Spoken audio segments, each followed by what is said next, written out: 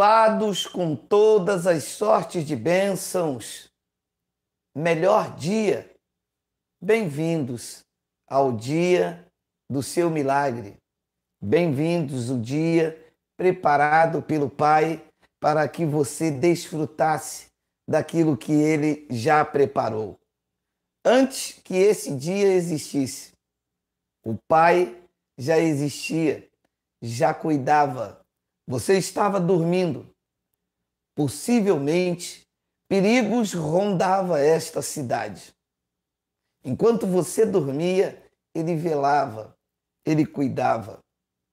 Os dia a dia, os afazeres, os desafios que temos que viver, muitas das vezes não permitem nós repararmos que em pequenos detalhes sempre foi o Pai cuidando já deixou o ar, o sol, alguns lugares a chuva, a proteção, o cuidado, o apetite e esta palavra maravilhosa que enche, que alimenta o nosso espírito. Não esqueça de ser grato manhã após manhã. Não esqueça de ter a atitude de gratidão Disse Paulo aos seus ouvintes no primeiro século: sede agradecidos. É o que somos, grato ao Pai, embora as dores, embora os desafios, os nossos achismos, embora os nossos porquês.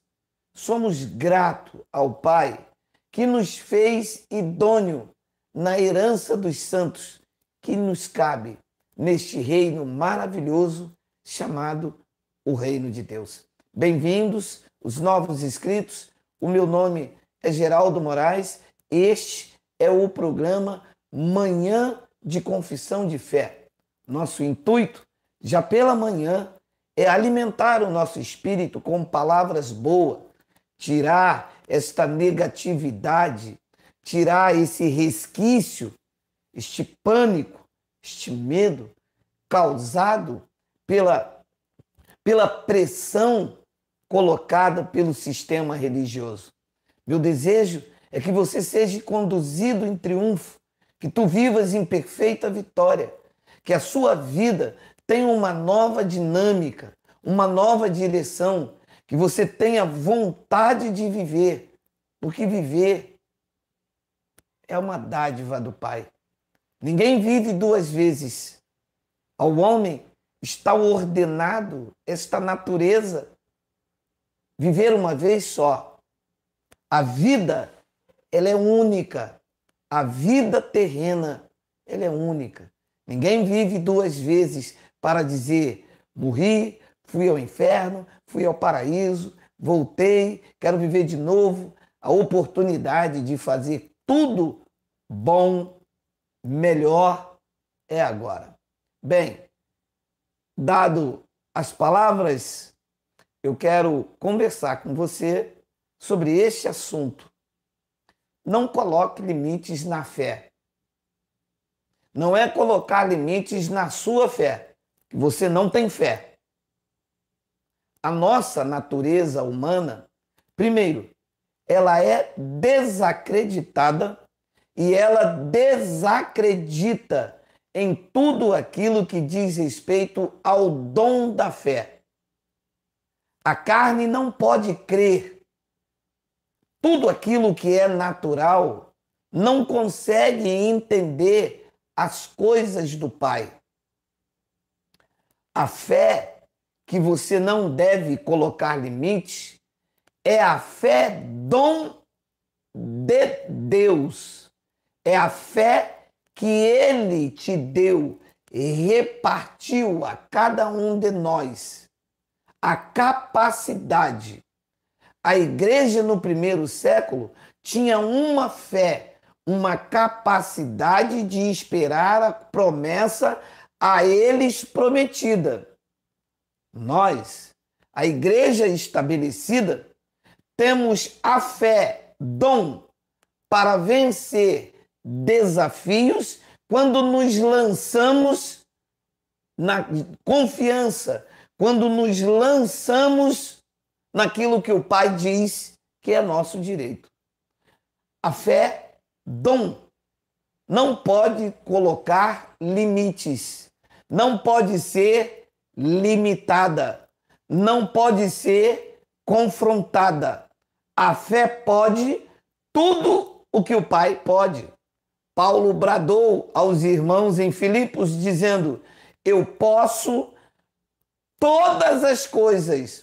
Ora, se tu dizes que não consegue fazer uma dieta, se tu dizes que não pode melhorar a saúde, se tu dizes que não vais conseguir, se tu dizes que não vai deixar a bebida, se tu dizes que não des, consegue deixar o cigarro, se tu dizes que não consegue deixar de ser escravo a si mesmo, você está colocando limites na fé dom que diz que você pode, quando na verdade você luta contra esta fé usando a debilidade da tua carne para dizer que você não consegue. Ora, estamos então confiando na palavra ou estamos então em confronto com ela? Claro que foram uma expressão de Paulo aos Filipenses. Mas veja, a análise sintática do texto, aonde o verbo é mais importante do que a frase, tem uma chave ali. Ele não disse eu posso todas as coisas porque eu me fortaleço. Aí era um problema a ser resolvido com Paulo na sua frase, mas ele podia todas as coisas naquele que fortalecia ele. Ora, e aquele que fortalecia Paulo, acredito eu que fortalece você também, a não ser que você não tenha esta convicção. Ora, se o que fortalecia Paulo vive eternamente, não apenas até 70, se o que fortalecia Paulo está vivo na, em mim e em você, significa que não só Paulo, mas eu e você também podemos todas as coisas porque ele também nos fortalece ou nos enfraquece. Ou estamos vazios sem Deus? Porque se estamos sem Deus, estamos todos perdidos, entregues à nossa própria sorte e aí os ateístas estão certos quando diz que não, Deus não existe. Mas ele existe. Ele está vivo. Ele está cuidando de cada um de nós. E talvez você já debilitado enche-se de pergunta se Deus está na minha vida. Por que, que eu estou passando isso? Se Deus está na minha vida, por que umas pessoas são felizes e eu sou triste? se Deus está na minha vida, porque umas pessoas têm e eu não tenho? Primeiro que você já começa colocando limite. Se. Não é se, é estar. E por que umas pessoas têm e você não tem? Porque você não se lança na fé. Você tem medo. Você não acredita com intensidade. Há uma frase secular aonde se diz alguém sem saber que era impossível foi lá e fez. Você acredita que não pode, que não consegue, que não vai dar certo, que para você é difícil? Então, é o que você vê, é o como você age e é o que você tem como resultado. Mas quando eu digo eu posso, eu consigo, eu tenho esta capacidade, não de mim mesmo, não que eu pense alguma coisa de mim mesmo, mas é que Ele me habilitou, Ele me capacitou, Ele deu a proporção de fé a cada um. Ele deu este dom de acreditar nele. Eu não acredito por mim mesmo. Eu acredito porque ele me deu. Isto não vem de vós, é dom. Então eu estou capacitado para acreditar, porque senão o médico vai dizer é câncer e eu vou receber isto e vou viver desta forma, arruinado, não lutando, não resistindo. Alguém vai dizer para mim, você é um semi-analfabeto e eu vou viver fadado ao fracasso. medingando pão, batendo de porta em porta? Sim, pode ser até uma verdade, é câncer, pode ser até uma verdade, eu sou um semi-analfabeto, mas a verdade superior a isso é que eu posso vencer o câncer, é que eu posso vencer o analfabetismo e me tornar uma pessoa próspera e feliz, porque quem depende de Deus não está paralisado nas circunstâncias da vida. E é isso que eu quero que você entenda. Ou você se torna vítima do que a sua carne te direciona, ou você se torna de fato de verdade mais do que vencedor, não só de palavras e de boca, mas de atitude e de convicção, porque você aprende a não colocar limites na tua fé, que é dom. O dom de Deus na sua vida para superar desafios, estabelecer meta e vencer os desafios. Você entende isto? Se você começa a entender isso, você está tirando aí os limites. Você está vendo já um novo horizonte.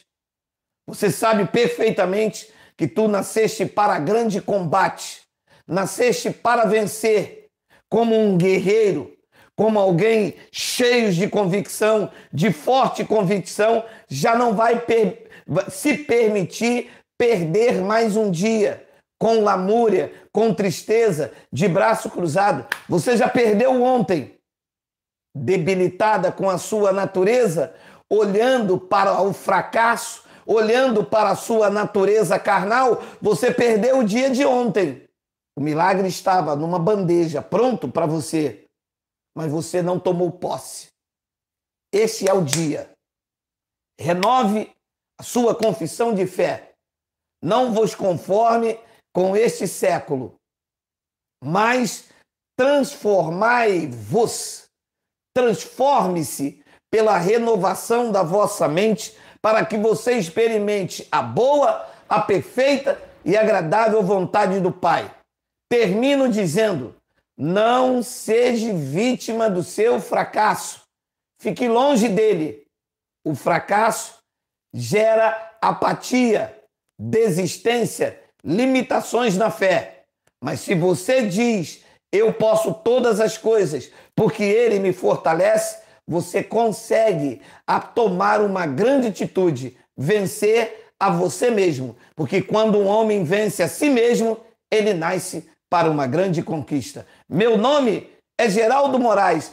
11h40 eu estou de volta. Avisa lá que GG tá on. Assim é, melhor dia, graça e paz.